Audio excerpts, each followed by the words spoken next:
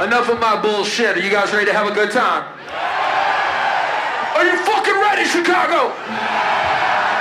All right then. Right now, I want you all to take a walk with me.